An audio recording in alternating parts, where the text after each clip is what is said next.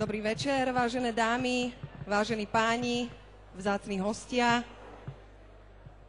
Sme veľmi radi, že ste dnes večer prišli a rovnako je mi cťou v mene nadácie Otvorenej spoločnosti vás privítať na udelovaní novinárskych cien za rok 2010. Do 7. ročníka súťaže sa prihlásilo 330 novinárov s vyše 600 príspevkami, ktoré boli v slovenských médiách uverejnené či odvysielané v kalendárnom roku 2010. Ja predsa len počkám, kým si každý nájde svoje miesto. Ak vám to nebude prekážať, mikrofón si zoberiem do ruky, aby sme nevyzerali ako na recitačnej súťaži. Dúfam, že si každý to svoje pohodlné miesto nájde a myslím, že môžeme pristúpiť k základným informáciám, ktoré by ste určite mali vedieť. Dovolte mi v mene organizátora poďakovať hlavnému partnerovi súťaže Slovenskej sporiteľni a rovnako aj partnerom súťaže. British Council Mayer McEnerickson, Združeniu vydavateľov periodickej tlače Slovenska, nadácii Open Society Fund Praha, mimovládnej organizácii Memo 98 a PR partnerovi súťaže agentúre Prime Time. Počula som niekoho, že chcete, aby som bola trošku hlasnejšie? Dobre som počula? Áno? Dá sa ma dať trochu hlasnejšie, alebo výborne. Tak dúfam, že už ma počujú aj na ulici, pretože to, čo tu dnes večer padne na tomto pódiu, by ste mali počuť. Budú to mená výťazov a to je vždy príjemné, keď vás niekto ocení. Poďme si ešte zrekapitulovať, čo nás dnes večer vlastne čaká. Súťaží sa v 13 kategóriách, o nominovaných a výťazoch rozhodujú nezávislé odborné poroty. Súťaž zastrešuje Rada súťaže, ktorá tento rok udeluje až 4 špeciálne ceny, vrátane jednej s československým presahom. Pre veľký záujem sa totiž novinárska cena tento rok rozšírila do susednej Českej republiky pod názvom Novinárska cena. Súťaž poprvýkrát organizuje partnerská nadácia Open Society Fund Praha. Obidve súťaže sú prepojené dvoma cenami, špeciálnou československou novinárskou cenou za výnimočný počin v oblasti investigatívnej žurnalistiky a kategóriou najlepší československý kreslený vtip, komiks a karikatúra. Ideme teda uh, priamo na výťazov, priamo na kategórie, pretože ich máme veľa. Dámy a páni, dovolte mi vás ešte raz privítať. Pevne verím, že počas dnešného večera sa budete cítiť príjemne a za všetkých vás dúfam, že práve to vaše meno odznie a budeme si môcť všetci navzájom gratulovať, samozrejme na afterparty. Poďme na kategóriu najlepší kreslený vtip, komiks a karikatúra. Na pódium pozývam Ľubicu Stanek z nadácie Otvorenej spoločnosti, aby odovzdala prvú z nich, teda cenu v kategórii Najlepší československý kreslený vtip komiks karikatúra. Nominovaní v kategórii sú Jozef Danglár Gertli za práce uverejnené v denníku Pravda, Miroslav Kemel za sériu karikatúr o hlédnutí za rokem 2010, uverejnenú v denníku Mladá fronta dnes, Martin Šuty Šútovec za práce uverejnené v denníku SME, a Fedor Vico za práce uverejnené v denníkoch Hospodárske noviny a Korzár. Mena nominovaných poznáme, poprosím Ľubicu Stanek, aby odovzdala cenu. Dobrý večer. Ehm, je jedna špeciálna cena, ktorá má československý presah a k tej sa dostaneme neskôr, ale je aj jedna normálna cena, ktorá má československý presah a to je táto.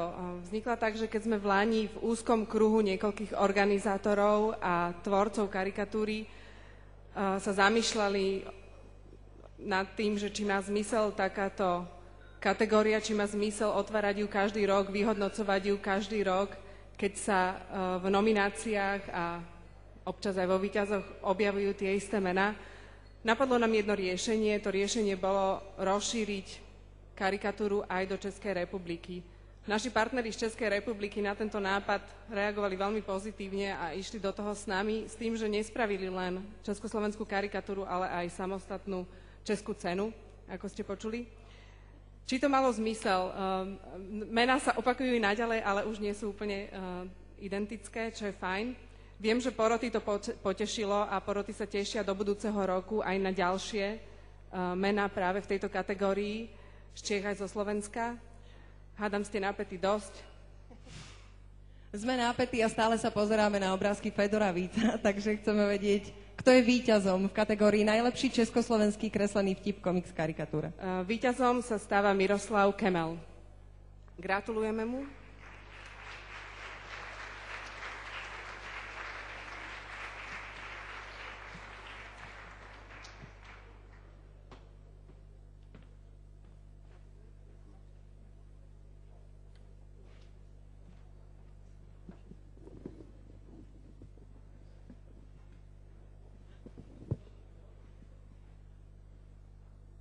Děkuji moc za udělení té ceny, moc si toho vážím.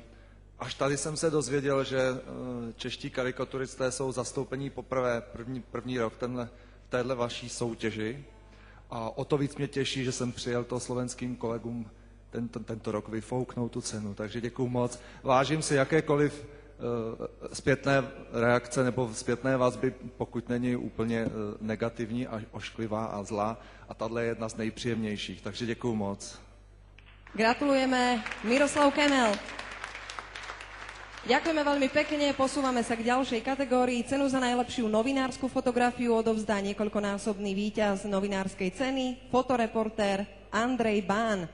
Už akým príde sem k nám na pódium, prezradím vám, kto je nominovaný. V tejto kategórii sú nominovaní Andrej Balco za sériu fotografií Ženská práca v antracite, Martin Banžák za sériu Haiti 21.1.2010, Boris Német za sériu Moje Holandsko a Matúš Zajac za sériu Sebadisciplína.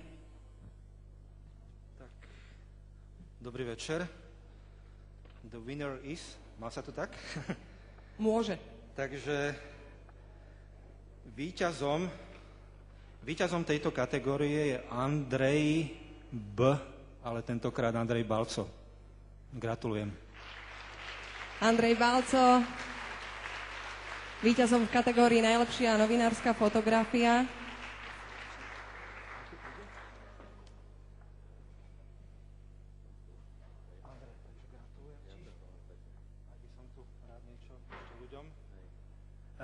Chcel by som za porotu, ktorá pracovala v štvorčlenom zložení, bol tam aj britský fotograf z agentúry Getty Images, Aidon Sullivan, ktorý bol v Lani členom WordPress fotoporoty.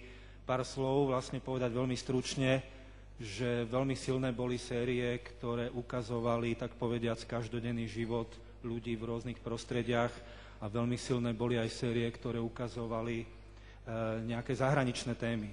Ja osobne som očakával možno viac silných sérií práve že zo Slovenska, ale dopadlo to takto, takže ešte raz vlastne gratulujem všetkým, ktorí boli nominovaní a špeciálne Andrejovi. Ďakujem.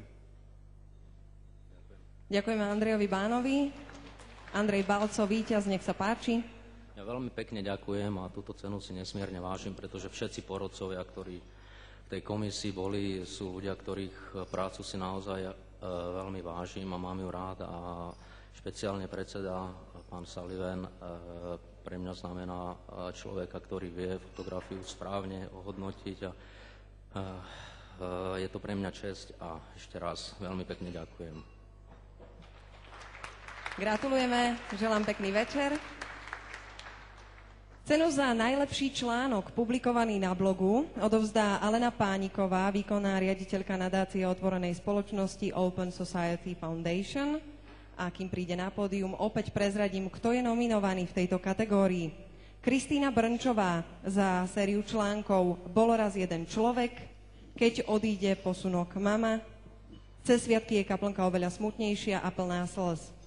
Miroslav Kocúr za sériu článkov o cirkevných predstaviteľoch, Ľubica Kočanová za sériu článkov o preležaninách v slovenských nemocniciach, a Ivana Pajanková za sériu článkov zo zápisníka Bežnej sanitárky. Pripomeniem, že všetky nominované články boli uverejnené na blog Sme.sk. Nech sa páči. Dobrý večer, tak ja už viem, kto zvíťazil. E, členovia poroty boli Norbert Brázda, Juraj Mesík a pán Libor Stejskal a vybrali spomedzi všetkých nominovaných e, Lubicu Kočanovú,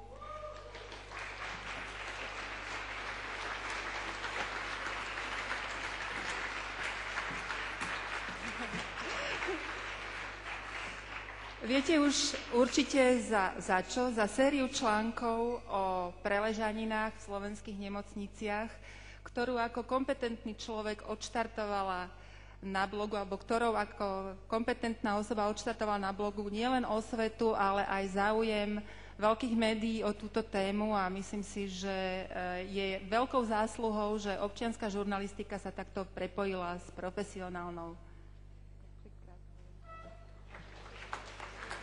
Ľubica Kočanová, víťazka kategórie najlepší článok publikovaný na blogu.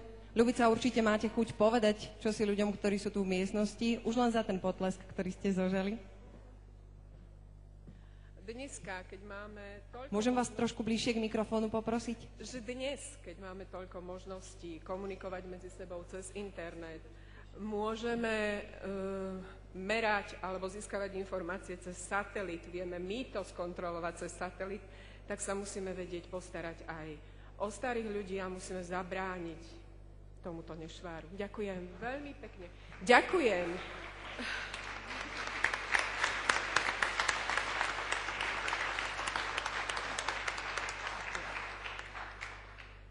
E, ďakujem liečebni svätého Františka, kde moje presvedčenie vzniklo a kde som sa mohla skutočne naučiť prevencii, preležaninám pre starých ľudí a zabrániť im. Ďakujem pekne.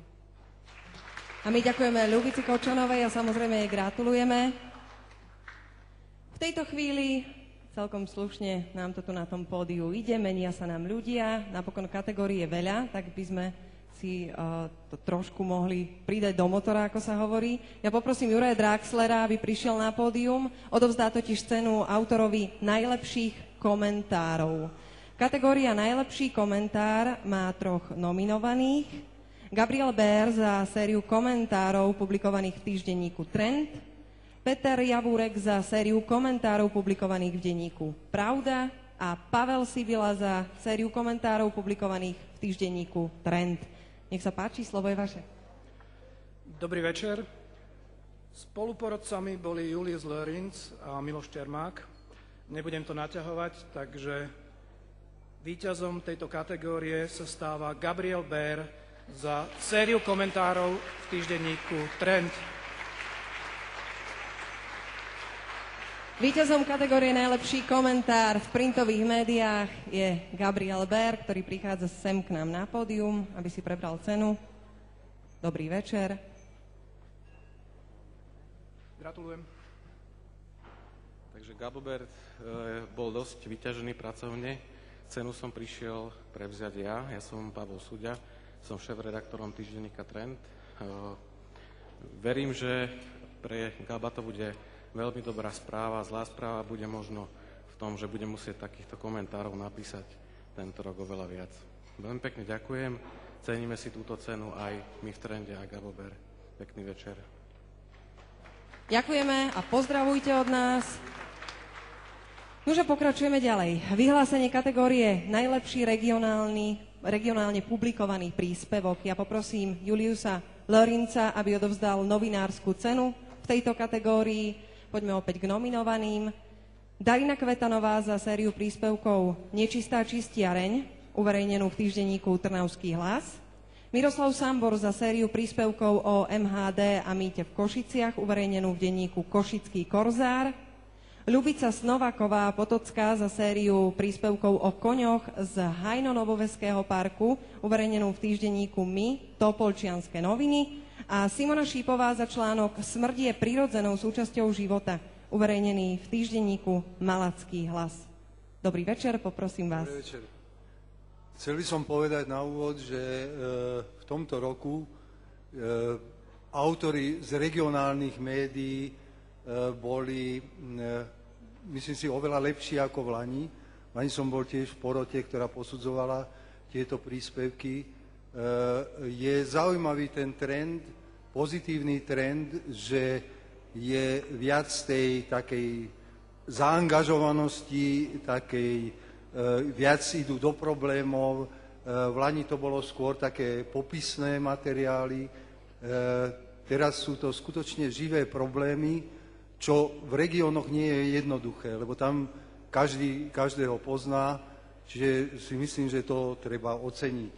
Čo bolo, čo, bolo, čo mi chýbalo aj nám v porote, že e, nemali sme príspevky z maďarskej napríklad, maďarskej regionálnej tlače, proste z národnostnej tlače. Myslím si, že to je trochu chyba tejto súťaže, že vôbec nie sú tam príspevky tom, v tomto roku, v Lani boli nejaké, v tomto roku vôbec neboli príspevky e, z médií národnostných menšín. E, myslím si, že to by bolo treba napraviť aj, aj teda možno sú málo aktívni v tomto smere, ale aj organizátori by mohli v tomto vyvinúť iniciatívu. E, výťazka je tu na, na obrázku Simona Šípová e, za svoj článok v Malackom hlase.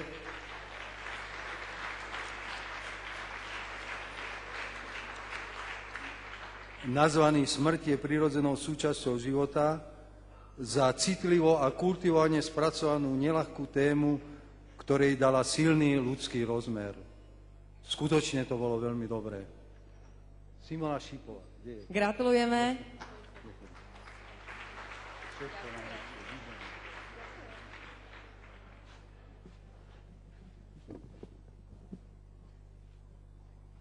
Tak ja by som sa určite chcela poďakovať najmä porote za to, že z množstva príspevkov vybrala práve ten môj, čo si veľmi vážim. No a v neposlednom rade patrí poďakovanie pani doktorke Jasenkovej a jej týmu z neziskovej organizácie Plamienok za to, akú prácu robia a za to, ako otvorene o nej dokážu rozprávať. Ďakujem. Ďakujeme veľmi pekne, pán Larinc, aj Simone Šipovej samozrejme gratulujeme a pokračujeme ďalej. Poprosím pána Vladimíra Mišauera, aby odovzdal cenu v kategórii najlepší regionálny odvysielaný a najlepší analyticko-investigatívny príspevok v elektronických médiách. Budú to dve kategórie. Začneme hneď prvou. Nominovaný v kategórii regionálne odvysielaný príspevok sú Richard Boliešik za kauzu prideľovania obecných bytov v Karlovej Vsi, odvysielanú v TV Karlova Ves. Jana Fedorová a František Lenhard za reportáž Moje videnie sveta odvysielanú v TV Mistral. A Vanda Tuchyňová za sériu príspevkov Žilinská policia nakupovala pre zásahy do ulic nepoužiteľné psy odvysielanú v Rádia Regina Banská Bystrica. Nech sa páči. Dobrý večer. Takže vítězem této kategorie Eh, vlastně ještě předtím řeknu jednu věc. Eh, porota měla v tomto případě poměrně velké trápení. Byl velký problém najít kvalitní reportáže z regionu až na jednu výjimku a tou výjimkou je vítěz této kategorie, protože ty ostatní příspěvky jsou poznačeny slovenskou realitou, která panuje v regionální žurnalistice. Takže Vítězkou této kategorie se stala Vanda Tuchyňová za sérii příspěvků o žilinských policejních psech.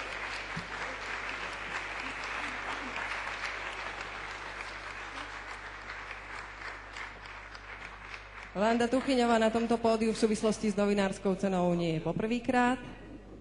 Tešíme sa, že ju tu opäť vidíme. Veľmi si to vážim a je to veľmi pozbudzujúce. Ďakujem. Pekný večer. Ďakujeme, určite si ho užite aj vy. Ako som spomenula, teraz sú na rade dve kategórie, takže poprosím Vladimíra Mišauvera aj o odovzdanie ceny v kategórii analyticko-investigatívny príspevok v elektronických médiách. Poďme si prebehnúť nominovaných. Richard Boliešik za kauzu udelovania trvalých pobytov v záujme Slovenskej republiky, odvysielanú TV JOJ. Dušan Karoli za príspevky Daňový megapodvod 3, a Ako podniká Mikuláš, odvysielané v TV Markíza. Anna Lemešániová za príspevok Krutá hra osudu, odvysielaný v televízii Markíza. Jan Maloch za série príspevkov Čierna stavba, a možno aj svadba, ale Čierna stavba v obci Reca a kauza byty, odvysielaná v televízii Markíza. Matej Neumann za príspevok Ja môžem všetko, odvysielaný v televízii Markíza.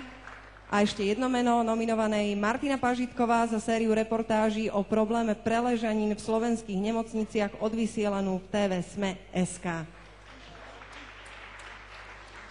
Tých nominovaných v tejto kategórii naozaj neúrekom. Áno, těch nominovaných je tady velmi mnoho a právě protože jich je mnoho, tak eh, já si dovolím pozvat sem své kolegyně z poroty Olgu Bakovou z České televize a Zuzanu Mistríkovou, aby mi s tím pomohli. Dobrý večer. V tejto kategórii je naozaj veľa nominovaných, pretože pri tejto kategórii na rozdiel od regionálnych sme mali opačný problém. Bolo veľmi veľa kvalitných materiálov, výborne spracovaných, veľmi dobré témy.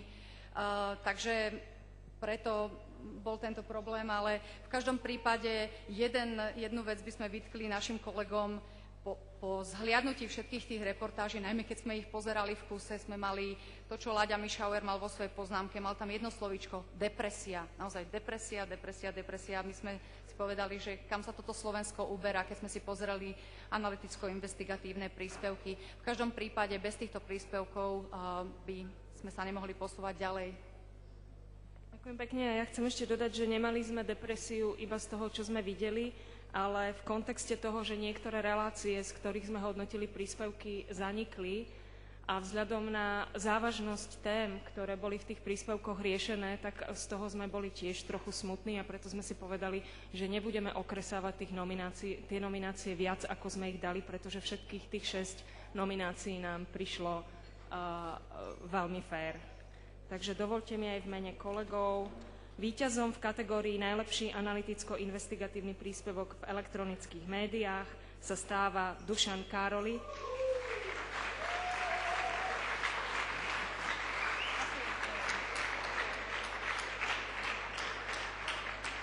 Za ukážkové príklady špičkovej investigatívnej novinárskej práce odkrývajúcej závažné jednanie úradov a jednotlivcov, ktoré v konečnom dôsledku vážne poškodzujú celú, celú spoločnosť.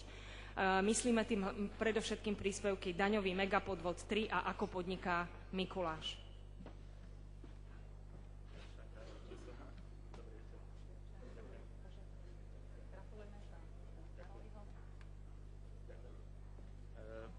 Ja som Lukáš Diko, šéf-redaktor spravodajstva televízie Markíza a vlastne aj po tom príhovore ja by som tu vlastne nemal možno ani stáť. Mal by tu stáť Dušan, ktorý ale z Košic nemohol prísť E, veľmi ďakujeme za túto cenu a, my, a dúfam, že to, že sme začlenili investigatívnu publicistiku do spravodajstva, budete vidieť v našom spravodajstve a že to bude také dobré, ako to bolo aj v Palbe. Ďakujeme.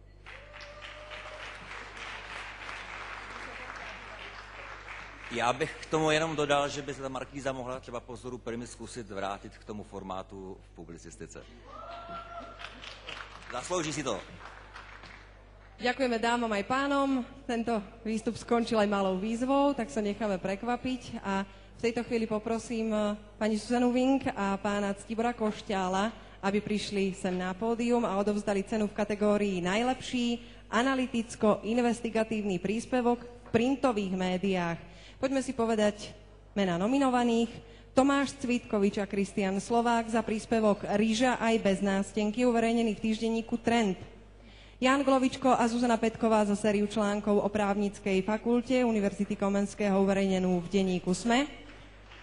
Jan Kovalčík za príspevok Zlatom dláždené cesty, uverejnený v týždenníku Trend. A Marek Vagovič za sériu článkov o financovaní strany Smer, uverejnenú v denníku SME.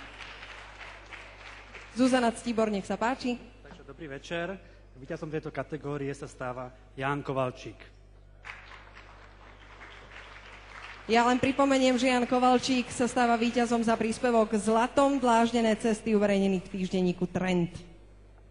Prepačte, že skáčem do potlesku doznievajúceho, ale musím k tomuto oceneniu povedať pár slov. Málo kedy sa v tejto kategórii stáva, že niektorý z príspevkov tak výrazne vyčnieva nad ostatné. A nie len kvalitou svojho odhalenia, ale aj tým, akým spôsobom sa novinár k tomuto odhaleniu dopracoval a najmä obrovským kvantom práce, ktorú si zobral na plecia. Málo kedy sa stáva ale aj to, že porota rieši pri uh, oceňovaní etickú dilemu. Porota udelila pánovi Kovalčíkovi toto ocenenie napriek tomu, že si je vedomá jeho súčasného pôsobenia vo verejnej správe. Jednoducho ten príspevok bol taký úžasný, že by bolo nespravodlivé vám tú cenu nedať. A možno ju brať ako takú e, výzvu alebo takú, e, tak, taký záväzok pre vás do budúcnosti, aby sa nestalo, že na budúci rok vyhrá túto investigatívnu kategóriu príspevok o vašej práci. Takže veľmi pekne gratulujeme. Opäť jedna ťažká výzva. Ďakujem veľmi pekne za slova chvály. Uh, možno trošku až prehnané, ale ďakujem pekne za toto ocenenie. Priznám sa, že po 15 rokoch v trende a toto bolo vlastne posledná príležitosť, lebo tým, že som sa dal asi pred pol rokom naverbovať do štátnej služby, zrejme žiadneho ocenenia sa už ne, nedočkám. Neviem o tom, že by sa oceňovali a, štátni úradníci. A, nie, že by sa medzi nimi nenašli takí, ktorí, robia poctivú a kvalitnú prácu, ale, ale ju vidieť asi menej. A, takže ďakujem pekne. Ďakujem špeciálne Pálovi Suďovi, šéf-redaktorovi Trendu, s ktorým som mal tú čest viac ako jedno desaťročie ťahať sporu a robiť, vzájomne sa učiť, vzájomne sa ťahať v trende a myslím, že robiť kus dobrej práce. A dúfam, dúfam, že sa to darilo. A ďakujem veľmi pekne aj organizátorom tohto podujatia, lebo teraz priznám sa, že keď som na tej, možno to vnímate, druhej strane, aj keď ja to tak nevnímam, ešte viac si uvedomujem, že naozaj profesionálna, poctivá, kvalitná novinárska práca zďaleka na Slovensku nie je samozrejmosťou, takže vďaka každému z vás, ktorý ju takto robíte. A my ďakujeme odovzdávajúcim aj víťazovi. Pán Ivan Štefunko, poprosím vás, aby ste prišli ku mne na pódium. Budeme odovzdávať cenu v kategórii Najlepší rozhovor v printových médiách. Nominovaní v tejto kategórii sú Martin Mojžiš a František Šebej za rozhovor František Baluška o rastlinách a ľuďoch, uverejnený v týždenníku Týždeň, Katarína Ragáčová za rozhovor Bilas Všetci všetko vrátime, uverejnený v denníku SME, a Karol Sudor za rozhovor Stanislav Cigánek, Jan Pavol II nás urazil poboskaním Koránu, uverejnený na SME.sk. Dobrý večer. Ja sa priznám, že som v tejto, v tejto porodcovskej práci nováčik a vôbec som si nepozeral, že kto predtým vyhral. A priznám sa, že tá práca bola dosť náročná, prečítať 60, okolo 60 rozho- rozhovorov. Trvalo to relatívne dlho. Na budúce príjmem len glosu maximálne. A zapáčila sa vám táto práca? Áno, bolo to veľmi zaujímavé. A uh, myslím si, že um, Neviem teda, ako v minulosti to bolo, ale porota sa jednoznačne zhodla na jednom rozhovore a tým rozhovorom je Karol Sudor. A, až autor pohodovo zareagoval na tému, o ktorej médiá informovali, len spravodajsky. Tému rozvinul do naozaj nečakaných súvislostí ukázal, akú cenu má dôkladná faktografická príprava pred rozhovorov. A to sa cení. Chcem len povedať, že potom som sa dozvedel, že tento pán túto cenu už niekoľkokrát predtým vyhral a asi by si mali organizátori teda buď zmeniť pravidla, alebo ho tam novinovať na, veky. Takže gratulujem. Gratulujeme. Karol Sudor sa stáva Karlom Gotom novinárskej ceny v kategórii najlepší rozhovor v printových médiách. Karol, neviem, keď ste sem prichádzali, či ste počuli, čo všetko porota v tomto rozhovore našla? Takých chvíľach človek moc nevníma. Hej, to je pravda. Neviem si to predstaviť. Tak nech sa páči, povedzte, čo len máte na srdci. Tak dobrý večer všetkým. E, ja keď som videl tých predrečníkov, aj toho pána, čo to teraz uviedol, aj toho kolegu z Trendu, ktorý je teraz vo verejnej správe, ako je oblečený, tak sa sem mám byl prísť. Ale výzva bola, že máme prísť neformálne oblečení. V každom prípade veľmi pekne ďakujem porote a ďakujem všetkým čitateľom a ďakujem redakcii SME, že to už piatý rok ťahá so mnou. Ďakujem. A my ďakujeme. Karol Sudor, najlepší rozhovor v printových médiách. V tejto chvíli Miroslav Kolár, ktorý príde ku mne na pódium, odovzdá cenu v kategóriách Najlepší rozhovor, beseda, diskusia v elektronických médiách. Nominovaní v kategórii sú Magdalena Glasnerová, Petra Kolevská, Ivan Predmerský a Rastislav Šenkírik za reláciu 5 minút po 12. téma Outsider, odvysielanú na STV2. Štefan Hríb za reláciu Lampa, televízia Joj Plus a Zlatica Puškárová za reláciu Voľby 2010, posledná predvolebná diskusia, odvysielaná v televízii Markíza. Dobrý večer. Ja na úvod musím sa vrátiť o rok dozadu. V tejto kategórii porota bola jediná, ktorá mala takú drzosť, že neudelila hlavnú cenu a viem, že organizátori nás za to doteraz majú v žalúdku, tak ma trošku prekvapilo, že nás teda zase pozvali do poroty. Asi sa spoliehali na to, že aj my pochopíme, že dvakrát opakovaný vtip prestáva byť vtipom. No, pozrieme sa, či to je tak. Je to tak, pochopili sme aj my. Výťazom v kategórii Najlepší rozhovor, beseda, diskusia v elektronických médiách sa stáva Štefan Hríb za osobité kultivované vedenie rozhovorov v relácii Lampa od vysielaných TV Plus prihľadnutím netradičnému výberu hostí a kreatívnemu výberu tém. Ja ešte predtým, ako odovzdám cenu, ak ju budem mať komu odovzdať, tak si dovolím jednu malú poznámku v súvislosti s ďalšou nominovanou reláciou. Chcel by som verejne vysloviť uznanie týmu okolo pani Glasnerovej zo slovenskej televízie, ktorá niekoľko rokov vyrába reláciu 5 minút po 12, 5, 5 minút po 12 a robia to veľmi dobre a hovorím to aj v súvislosti s tým, že dúfam, že nepadne za obeď stratovému rozpočtu RTVS, ktorý sme dnes na rade RTVS schválili. Ďakujem. Vráťme sa ale k relácii Lampa. No, nie som Štefan Hríb, ako všetci ste viete. Štefan Hríb začína za chvíľočku reláciu, takže za celý kolektív Lampy, pod lampou a večer pod lampou ďakujem.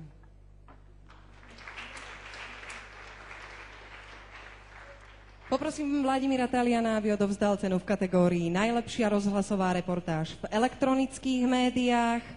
Nominovaní v tejto kategórii sú Jan Bábik za sériu Múzy za mrežami, odvysielanú v Rádiu Devín, Sergej Danilov a Alexandra Dovalová za sériu reportáží Príbeh Viery Samkovej, odvysielanú v Rádiu Express, Sonia Ďarfášová za reportáž Cena slobody očami politického väzňa a pohraničníka, odvysielanú v Rádiu Regina, Bratislava.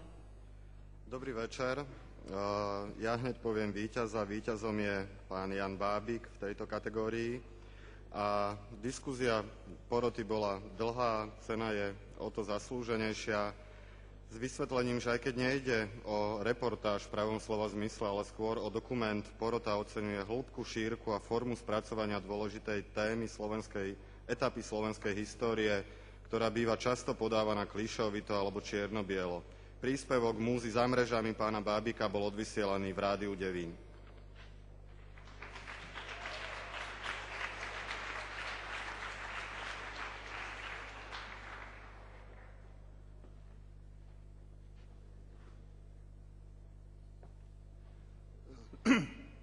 Ďakujem za udelenie tejto ceny.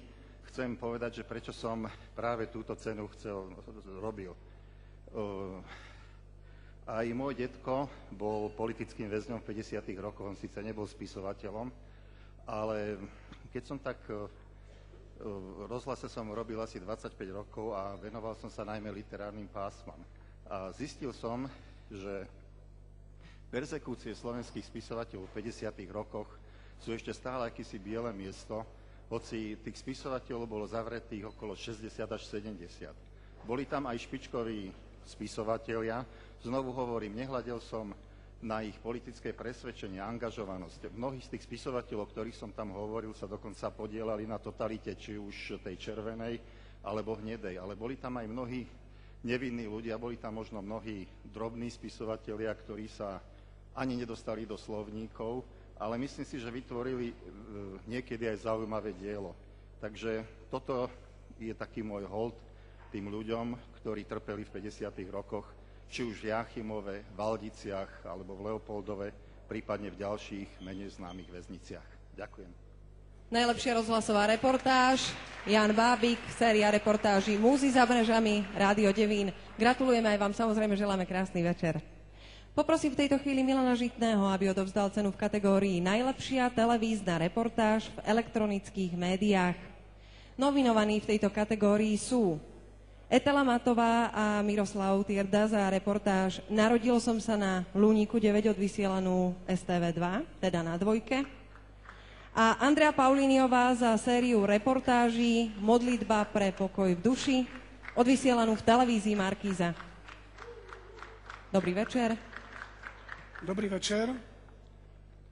A chcel by som poznamenať, že v tejto kategórii som sedel v porote aj minulý rok a ukazuje sa, že niekedy je dobré opakovať tému znovu a znovu, pretože sa dá vyťažiť aj viackrát, e, nielen raz, aj napriek tomu, že tá téma môže na Slovensku iritovať aj takých predstaviteľov, ktorých by sme vôbec nečakali medzi slovenskými rasistami.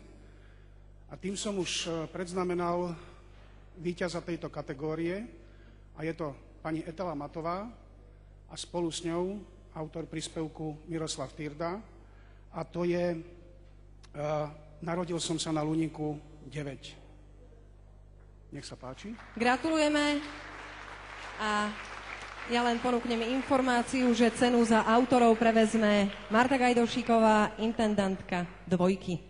Neprevezme. Tak, fajn. Takže cenu neprevezme nikto, ale určite sa dostane do rúk výťazov. Je to škoda. Ďakujem. Určite je tu niekto z STV. Myslím, že cena sa dostane k výťazom a pokračujeme ďalej. Veľmi pekne ďakujem. A v tejto chvíli prosím, aby na pódium prišiel Martin Kasarda a vyhlásil víťazov v kategórii najlepšia reportáž v printových médiách. Ja dúfam, že už sa nestane, že by medzi nami nebol niekto, kto môže prevziať cenu, pretože je to krásny moment a treba si ho určite užiť. Poďme si ale povedať mená nominovaných práve v spomínanej kategórii. Nominovaní sú Milan Čupka za sériu reportáží Ľudia na okraji záujmu, uverejnenú v denníku Pravda. Marian Jaslovský za sériu reportáží Miesta literatúry, uverejnenú v prílohe Víkend denníka SME. A Jan Krempaský za sériu článkov o probléme preležanín vznikajúcich v slovenských nemocniciach, uverejnenú v denníku SME.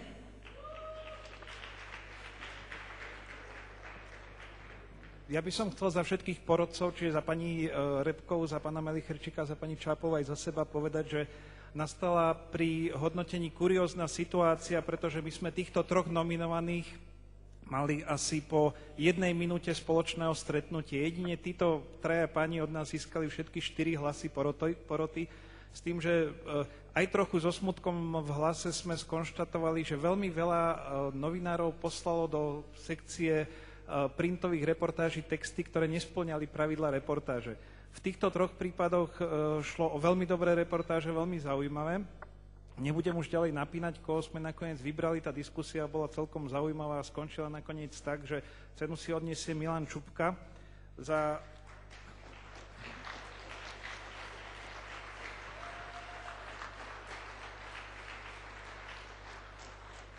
za sériu reportáží ľudia na okraji záujmu. Eh, my sme ocenili výber jednotlivých tém, ocenili sme, ako sú spracované, že, že boli vyslovene literárne, príjemne sa čítali, aj keď neboli vždy o príjemných veciach a vrele vám ich odporúčam nájsť ich na Pravda.sk, lebo sú tam zavesené a majú svoju čítanosť.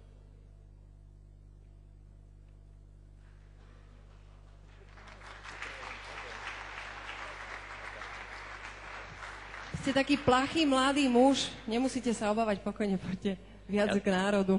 Ja som vedel, že budem nervózny, keď náhodou vyhrám, tak som si pre istotu napísal mena všetkých, ktorým chcem poďakovať, takže mám taký malý zoznam so sebou.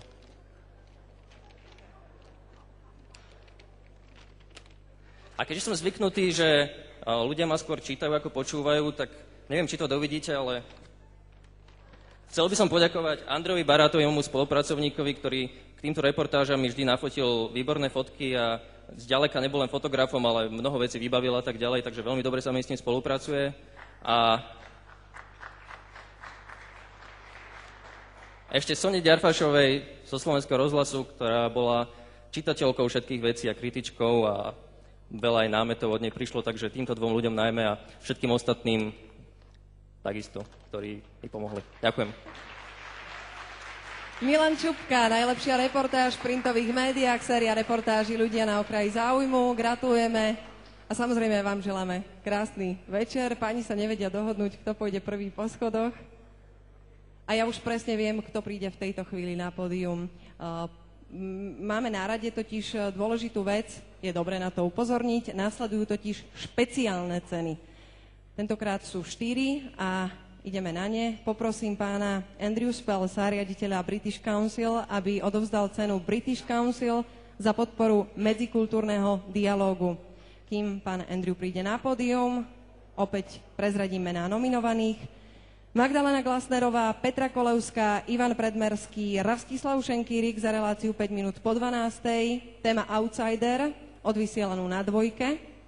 Peter Kubíny za reportáž Lomnička, uverejnenú v týždenníku Týždeň. Etela Matová a Miroslav Tierda za reportáž Narodil som sa na Luníku 9, odvysielanú na dvojke. Iveta Vaculová za reportáž Stretnutia, odvysielanú v rádiu Regina Košice. Už a predtým ďakujeme za potlesk pre našich uh, nominovaných. Predtým, než prezradíme meno víťaza, tak uh, pán Spels určite chce čosi povedať a ak dovolíte, tak ja veľmi prírodzene budem prekladať tým, že budem čítať. Dobrý večer. We face many difficult challenges, most immediately perhaps unemployment, economic recession, struggling education systems and political systems that sometimes seem to hinder rather than facilitate positive social changes. And just over the horizon, concerns about war, terrorism, climate change, food shortages, natural disasters.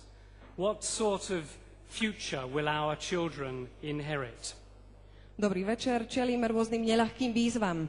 Snáď najaktuálnejšie nezamestnanosti, ekonomickej recesii, problémom so školskými reformami či s politickými systémami, ktoré, ako sa niekedy zdá, viac brzdia, ako prispievajú k pozitívnym sociálnym zmenám. Nehovoriac o zvyšujúcich sa obavách z vojny, terorizmu, klimatickej zmene či prírodných katastrofách. Takže akú budúcnosť pripravíme našim deťom? I believe that many of these challenges can be solved, at least in part, but only if two conditions are met. Firstly, we must stop waiting for someone else to do something. We cannot rely on politicians to address all of these issues. Some may try, but most are motivated only by short term issues or short term gain. Ordinary people need to get more involved to bring about change. It is up to us, and we can and must act. Verím, že množstvo z týchto problémov môže byť vyriešených minimálne čiastočne, ale len ak budú splnené dve základné podmienky. Musíme prestať čakať, kým niekto iný niečo urobí. Nemôžeme sa spoliehať na politikov, že budú riešiť všetky problémy. Niektorí to možno skúsia, no veľa z nich má len krátkodobé ciele a výsledky. Bežní ľudia sa musia viac angažovať, aby niečo zmenili. Je teda na nás, môžeme a musíme konať. Secondly, we must make full use of the potential that everyone has. We don't at the moment. Hundreds of thousands of people are excluded from society in Slovakia and in many other countries because of their race, their beliefs, because of poor education or poverty. Apart from the compelling moral arguments against social exclusion, self interest says that we cannot afford to exclude anyone. To meet the many challenges that we face, we need new ideas, different ways of looking at things, and all the energy, talent, and potential that we can find. Okrem toho je potrebné využiť potenciál každého človeka. V súčasnosti to nerobíme dostatočne. Stá tisíce ľudí je vylúčených zo spoločnosti, či už na Slovensku alebo v iných krajinách, kvôli svojej rase, viere, nedostatočnému vzdelaniu či chudobe. Okrem presvedčivých morálnych argumentov proti sociálnemu vylúčeniu, ani vlastný záujem by nám nemal dovoliť niekoho vylúčovať. Pri tom, čomu čelíme, potrebujeme nové nápady, iný pohľad na vec, všetkú energiu a talent, ktorý len dokážeme nájsť. In the British Council, we believe that all our futures depend on people of all cultures and societies living and working together on foundations of mutual understanding, respect, and trust. It is therefore natural that we should be supporting this prize for promoting intercultural understanding for a second year. My v British Council veríme, že naša budúcnosť závisí od ľudí všetkých kultúr a spoločností. Že spoločne môžeme budovať na základoch vzájomného porozumenia, rešpektu a dôvery. Preto je pre nás prirodzené, že British Council podporil už po druhýkrát cenu za medzikultúrny dialog. I would like to applaud those on the shortlist for this prize for their efforts to help us understand each other better. And if I may, I would like to encourage more journalists, editors, and publishers to address this important area. Chcel by som zagratulovať všetkým nominovaným za ich námahu prispieť k lepšiemu porozumeniu. A keby som mohol, rád by som povzbudil aj ďalších novinárov, editorov a vydavateľov, aby sa zaoberali touto závažnou oblasťou. The British Council Prize for promoting intercultural dialogue goes to I was born in Lunik 9 by Etela Matova and Miroslav Tirda for reporting the reality of life in Lunik 9 in a very engaging way, giving us a chance to view the topic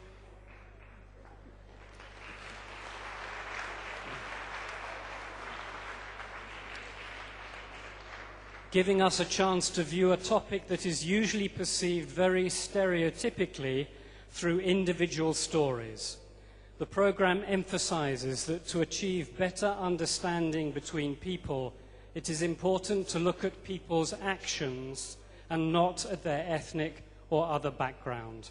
Congratulations to Atella and Miroslav. A ja len zopakujem a pridám samozrejme aj text, ktorý porota pridáva práve oceneným. Cenu British Council za podporu medzikultúrneho dialogu získava Narodil som sa na Luníku 9 Eteli Matovej a Miroslava Tyrdu.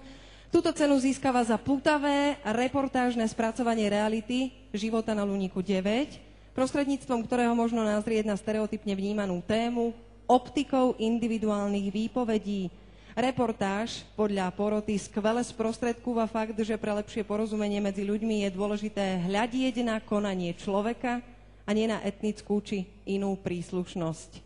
Nuž a teraz je otázka, či danú cenu niekto preberie. Nikto stále neprišiel. To je mi ľúto.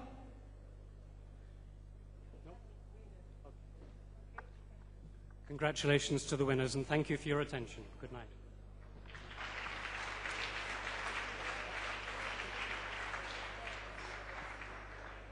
Vyhlásenie víťaza ceny Združenia vydavateľov periodickej tlače Slovenska prichádza práve v tejto chvíli. Je to v poradí ďalšia špeciálna cena.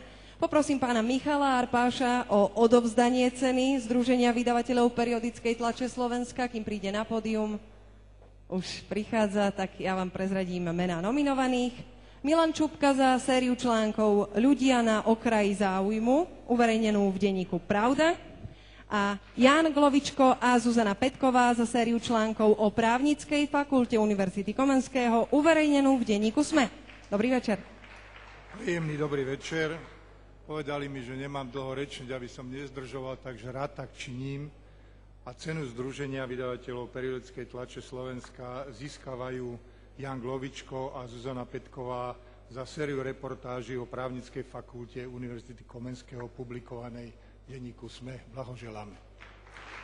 Jan Glovičko, Zuzana Petková, cena Združenia vydavateľov periodickej tlače Slovenska.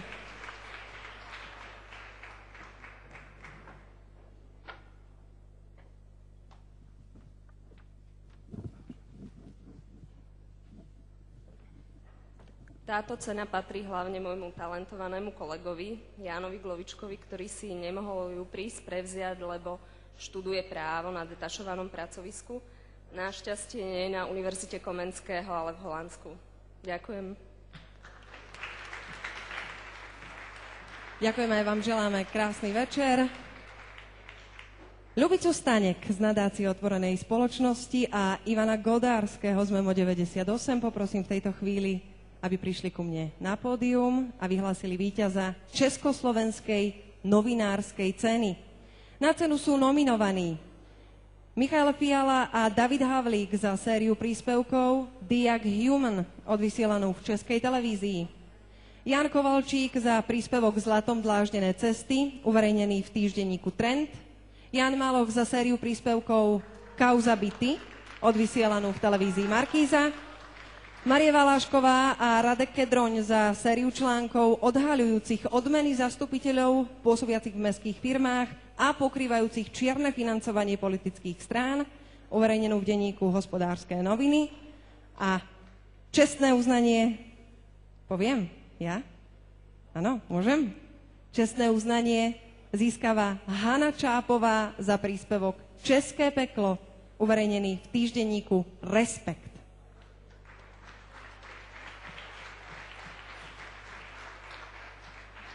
Dobrý večer ešte raz. Táto kategória, ehm, táto špeciálna cena eh, vznikala tak pokusne trošku. Je to pokus pokúsiť sa urobiť eh, nejaké porovnanie, možno neporovnateľného, porovnanie eh, práce, ktorá vzniká v Čechách a na Slovensku, práce, ktorá reaguje na iné podnety v rámci spoločenského diania v Čechách a na Slovensku a ktorá vzniká tiež v trošku iných kontextoch a možno aj za iných podmienok.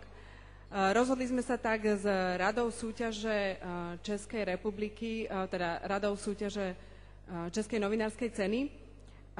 A nominácie, ktoré my sme dostali, boli od porodcov, boli od odborných porodcov a týmto mi dovolte im poďakovať a nie len teda analytickému, československému analytickému príspevku, ale všetkým porodcom za ich prácu. Napokon ich posudzovala na, na spoločnom stretnutí telefonickom Rada českej súťaže a slovenskej súťaže a nedebatovali sme krátko, ale dohodli sme sa jednoznačne. Áno, dohodli sme sa jednoznačne a neviem, či je to až tak pozitívne, ako jednoznačne sme sa dohodli, pretože eh, ešte predtým, ako poviem výsledok, eh, chcel by som spomenúť, možno sa niektorí divíte, že prečo vôbec tá cena vzniká, keď, keď eh, celkom zjavne klesá počet elektronických príspevkov, ktoré sa venujú investigatíve. Myslím si, že práve preto, čo už bolo povedané pánom z British Council, pretože myslím si, že mentalita Slovenska je práve o tom, že čaká stále na niekoho, kto, mu, kto niekomu pomôže a myslím si, že investigatíva je práve presne o tom, aby, aby ukázala, eh, čo je problém, aby tak trochu suplovala ten občianský záujem a doviedla možno veci do konca. Takže predtým, ako sa dostaneme k nomináciám, dovolte mi povedať víťaza.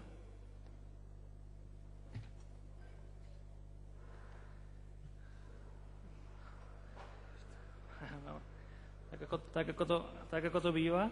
Toto je obálka s nomináciami. A pamätáte si, kto je víťaz? Víťaz asi pamätáme. Ak to môžete otočiť na, na začiatok. Víťazom je pán Michal Fiala a David Havlík z Českej televízie.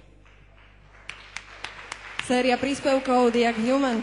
Skutočne ďakujeme a gra- teda gratulujeme. Bolo to jednoznačné uh, rozhodnutie, ale dovolte mi podeliť sa o túto radosť vlastne prvej takejto uh, medzinárodnej ceny, nejakého zrovnania práce českých a slovenských novinárov tým, že pozývame srdečne práve novinovaných uh, na pódium zo Slovenskej republiky, pána Kovalčíka a pána Malocha.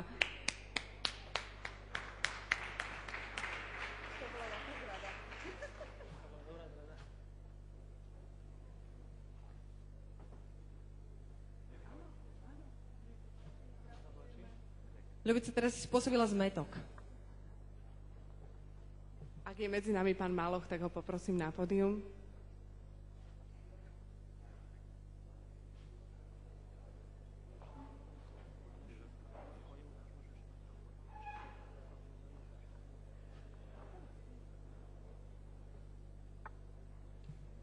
Možno kým príde pán Maloch, dovolte mi aspoň jedným slovom spomenúť, o čom ten príspevok bol, lebo neviem teda, či mali ste všetci možnosť ho sledovať. E, Bola to séria troch príspevkov, ktorá sa venovala kauze Diag Human. Možno niektorí viete, ide o, ide o arbitráž, ktorú, ktorá, ktorá zaťažuje Českú republiku, alebo potenciálne môže zaťažovať až 14 miliardami českých korún.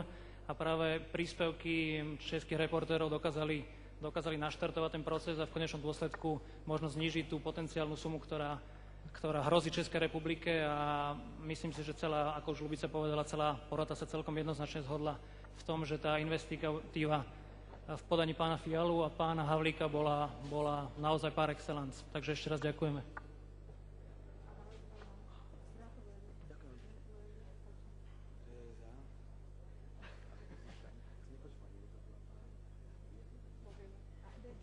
Pani, ak máte chuť, čo si povedať, nech sa páči. Kam idete? Kam ste sa tak vybrali dnes večer? Tak um, povedali nám, že aby sme boli struční, napriek svojej povahe sa o to pokúsim. Uh, chcel by som poďakovať najmä okrem porote aj Kristianovi Strakovi. Kristian Straka je aktívny dôchodca, uh, aktívny skoro ako novinár, dá sa povedať, keďže si vyžiadal z Bratislavského starého mesta asi 200 strán. Na základe nich zistil, ako sa pridelovali byty a on ma upozornil na to, aby som sa nejakým spôsobom pozrel na to pridelovanie bytov, čiže chcem mu týmto nejakým spôsobom aj nepriamo poblahoželať a vám v podstate poďakovať za príjemnú motiváciu.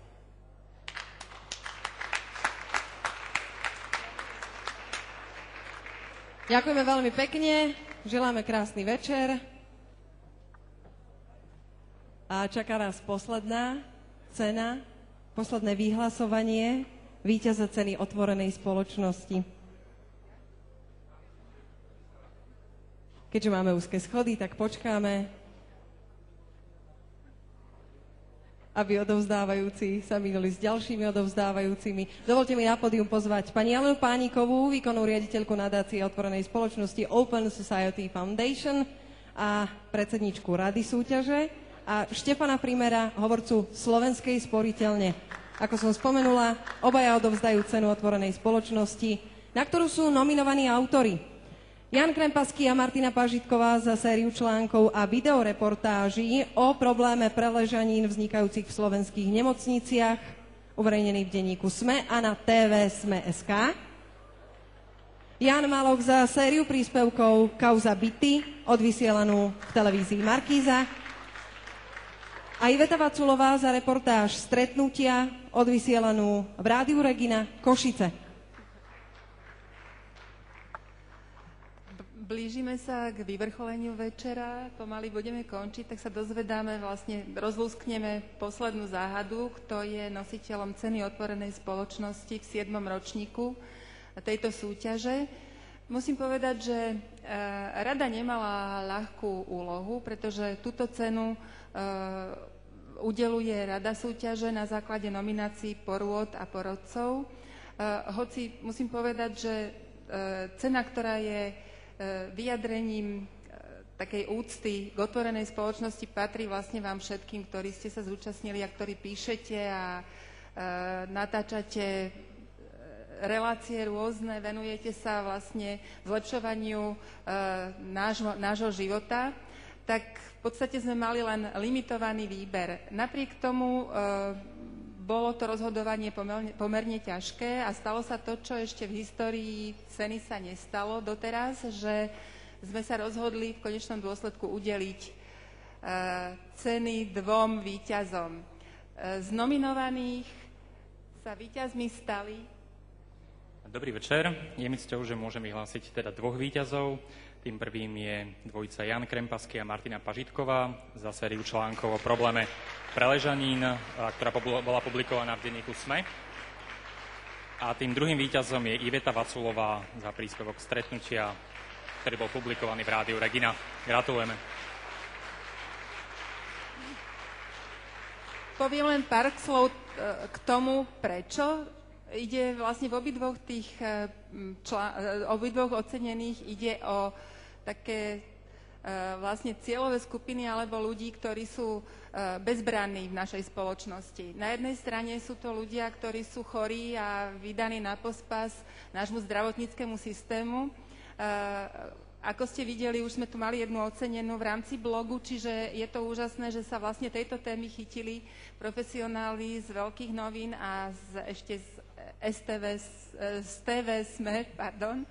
A Ďalšou výťazkou je Iveta Vaculová. E, za tému stretnutia je to vlastne veľmi zaujímavý regionálny príspevok e, v Regine Košice, rádiu Regina Košice, ktorý rozkrýva vlastne problém postavenia Róma e, v našej spoločnosti a na príbehu sociálneho pracovníka, terénneho sociálneho pracovníka v Sabinove, vlastne ukazuje celú šírku a hĺbku tohto problému nielen z pohľadu nás ako väčšiny, ale aj z pohľadu človeka, ktorý sa rozhodol pre seba a pre svojich ľudí niečo urobiť. Výťazov máme na pódiu. Ja len pripomeniem, Cena otvorenej spoločnosti Jan Krempaský a Martina Pážitková a Iveta Vaculová.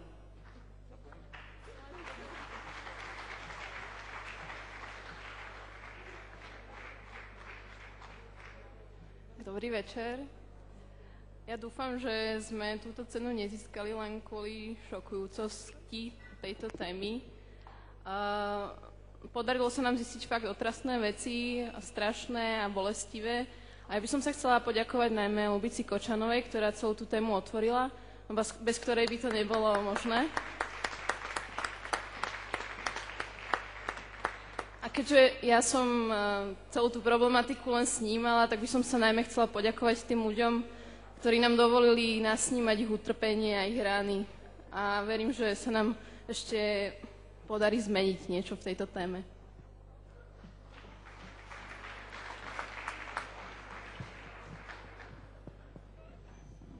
Ja by som takisto chcel teda povedať, že naša téma a všetko to, čo, o čo sme písali a točili, by nevznikla bez uh, pani Lubici Kočanovej, ktorá uh, tento veľký problém, ktorý je v spoločnosti načala, čiže sa s pokorou pred ňou skláňame a takisto sme veľmi vďační porodcom, pretože to chápeme ako ocenenie pre ľudí, uznanie tým ľuďom, ktorí sa bohužiaľ nemôžu sami chrániť a bohužiaľ nie sú takí bohatí a nemajú také konexie, aby mohli byť liečení ako ľudia. Za to veľmi pekne ďakujeme. Jan Krempasky a Martina Pažitková. A nech sa páči, Iveta Vaculová. Ja sa chcem poďakovať jednak porote a jednak slovenskému rozhlasu, rádiu Regina, za to, že mi umožňuje stretávať e, ľudí z opačného polu, než akých stretávajú moji kolegovia, ktorí sa venujú investigatíve. A tak nemusím upadať do depresie, ale skôr do načenia. Napriek tomu, že tie problémy vidím, tak stretávam stále dosť ľudí, ktorí majú chuť niečo robiť proti ním. Ďakujem pekne. Ďakujeme aj my víťazom, gratulujeme a ďakujeme aj pani Jelene Pánikovej a pánovi Štefanovi Primerovi. Dámy a páni, je veľmi príjemné byť v tejto miestnosti z niekoľkých dôvodov. Jeden asi ten najdôležitejší je, že je tu obrovské množstvo výborných novinárov. Vy máte pred sebou celý večer, môžete sa stretať s kolegami, kamarátmi, porodcami, môžete debatovať a rozprávať sa a pevne verím, že si užijete večer po odovzdávaní cien v rámci 7. ročníka novinárskej ceny. Ja vás samozrejme pozývam na občerstvenie a na záver ešte chcem pripomenúť, že budúci útorok 19. apríla ste o 17. hodine vítaní na vernisáži výstavy novinárskych fotografií a karikatúr No Comment v Open Gallery v sídle nadácie otvorenej spoločnosti na Baštovej 5. To je ale až budúci útorok. Dnes ste srdečne pozvaní na príjemné posedenie. Dúfam, že vám dnes večer bude fajn, pretože tento večer je o vás a pevne verím, že sa tu na budúci rok v takejto a možno väčšej zostave zídeme. Nech sa vám darí počas celého roka. Krásny večer.